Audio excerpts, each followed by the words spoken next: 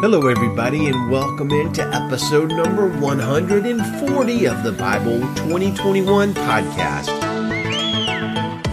We are reading Ezekiel chapter 28 today, and our focus is on the origin, pride, and downfall of Satan, which I realize is a most strange episode focus, I know.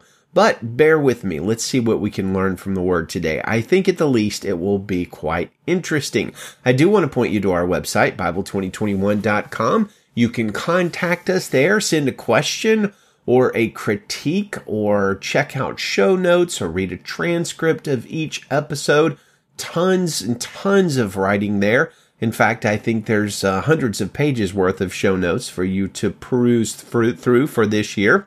Today we're talking about the king of Tyre, or are we? Ezekiel 28, our chapter of the day, is fascinating and a very hotly debated passage. On the surface, it's a lament and a pronouncement of judgment by God on the king of Tyre, which is a country very close to Judah. Now, modern day Tyre is in the country of Lebanon. It's the fourth largest city there. It's still an inhabited city. It's one of the oldest continually habited cities in the entire world, dating all the way back to 2,750 years before Jesus. And that means that humans have lived in this city for almost 5,000 years. That is utterly mind boggling to me. So in the early days of the kingdom of Israel, King David and King Solomon were actually staunch allies with Hiram, king of Tyre, and free trade happened between the kingdoms. Later on, King Ahab, who was a very wicked queen, king, married Jezebel for his queen, who was the daughter of the king of Tyre. By Ezekiel's day, relations between Judah and Tyre were not so good, and Ezekiel 28 contains a strong censure and criticism of the pride and arrogance of Tyre's king who viewed himself as a god among men. We read in verses 6 through 8, Therefore, this is what the Lord God says. Because you regard your heart as that of a god, I am about to bring strangers against you, ruthless men from the nations. They will draw their swords against your magnificent wisdom and will pierce your splendor. They will bring you down to the pit and you will die a violent death in the heart of the sea. The historical king that's being referred to here is a guy named Ithobaal III, who was an able ruler. He was even, even able to resist a significant siege from Nebuchadnezzar in Babylon, who was pretty much the superpower of this time. Now, before you skip to the next episode, let me assure you, we're not today going to cover the career of Ithobaal and have more facts about Tyre. Why not? Because I, along with many, but not all, Bible teachers and scholars, believe something much more significant is going on in Ezekiel 28 than just a takedown of a prideful human king named Ithobaal. A few verses into Ezekiel's criticism of the king of Tyre, things change. God says to write a lament now for the king of Tyre and the lament begins in verse 12. You were the seal of perfection, full of wisdom and perfect in beauty. You were in Eden, the garden of God. Every kind of precious stone covered you carnelian, topaz, and diamond, beryl, onyx, and jasper, lapis lazuli, turquoise, and emerald.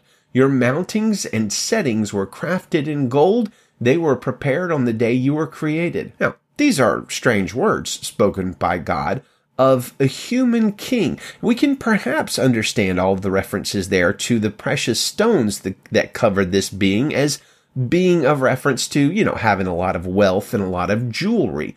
Less understandable, though, is God's statement that this person was in Eden, the garden of God. In other words, the garden of Eden. Could this be an exaggeration of sorts? Well, if so, it's a very, very strange exaggeration that we find nowhere else in Scripture. It's absolutely unprecedented.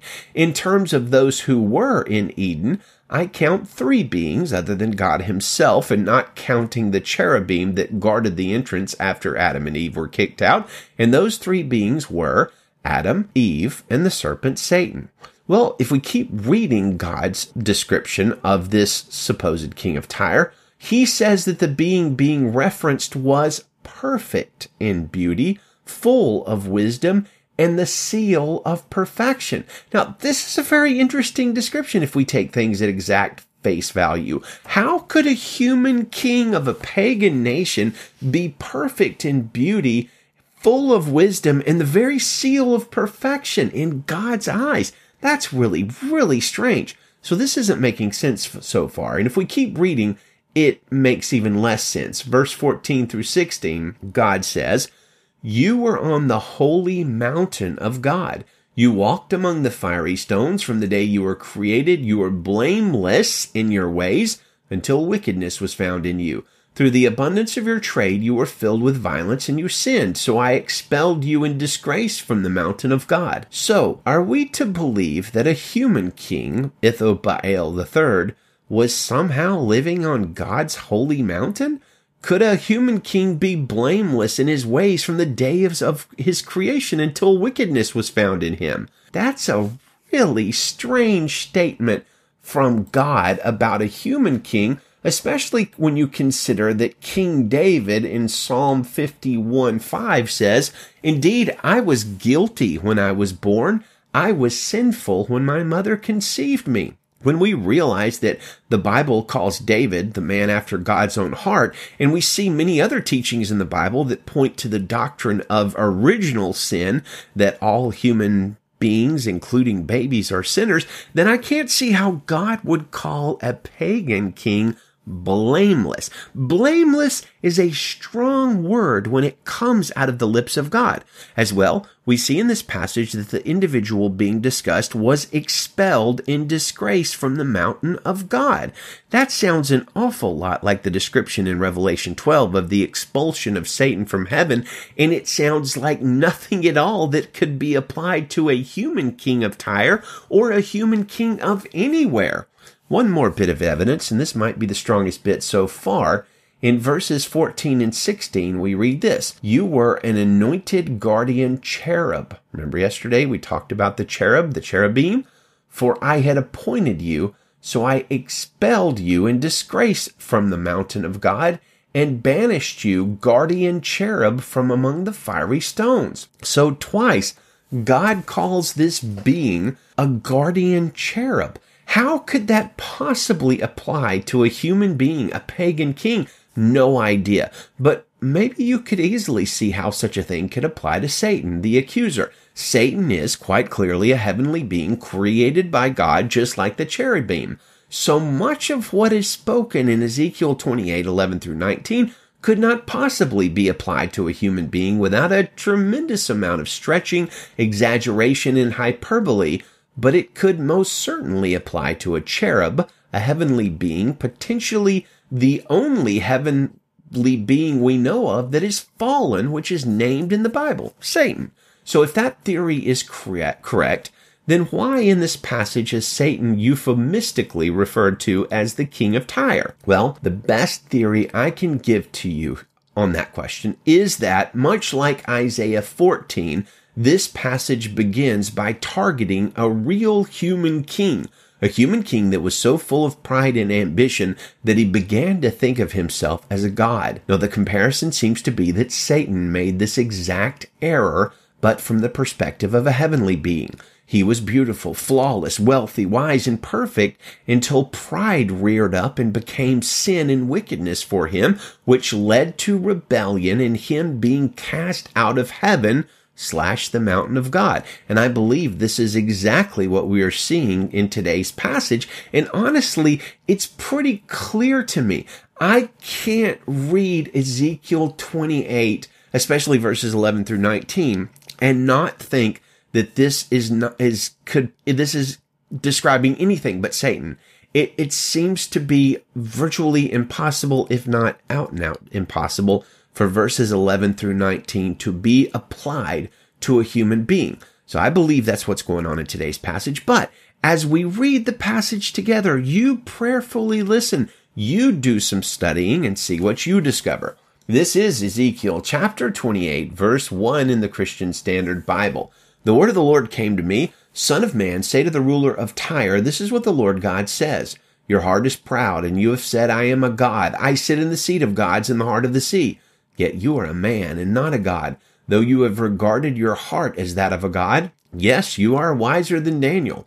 No secret is hidden from you. By your wisdom and understanding, you have acquired wealth for yourself. You have acquired gold and silver for your treasuries. By your great skill in trading, you have increased your wealth, but your heart has become proud because of your wealth. Therefore, this is what the Lord God says. Because you regard your heart as that of a God, I'm about to bring strangers against you, ruthless men from the nations. They will draw their swords against your magnificent wisdom and will pierce your splendor. They will bring you down to the pit and you will die a violent death in the heart of the sea. Will you still say, I am a God in the presence of those who slay you? Yet you are only a man, not a God. In the hands of those who kill you, you will die the death of the uncircumcised at the hands of strangers, for I have spoken. This is the declaration of the Lord God. The word of the Lord came to me. Son of man, lament for the king of Tyre and say to him, This is what the Lord God says. You were the seal of perfection, full of wisdom and perfect in beauty. You were in Eden, the garden of God. Every kind of precious stone covered you carnelian, topaz and diamond, beryl, onyx and jasper, lapis lazuli, turquoise and emerald. Your mountings and settings were crafted in gold. They were prepared on the day you were created. You were an anointed guardian cherub, for I had appointed you. You were on the holy mountain of God. You walked among the fiery stones. From the day you were created, you were blameless in your ways until wickedness was found in you.